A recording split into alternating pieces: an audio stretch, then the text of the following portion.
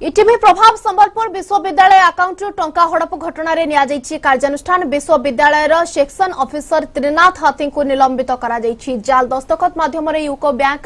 আকাউন্টরু সতচাশ লক্ষ টঙ্কা হড়প হয়েছে নেই অভিযোগ আসছিল ঘটনার এজিঙ্কর দুইজনিয়া টিম বিশ্ববিদ্যালয়କୁ যাই কাগজপত্র যাঞ্চ করা সহিত ছানবিন চলাইলে তবে বিশ্ববিদ্যালয় কর্তৃপক্ষ এনে থানার এতলা দেওয়া পরে পুলিশ মামলার তদন্ত করেছে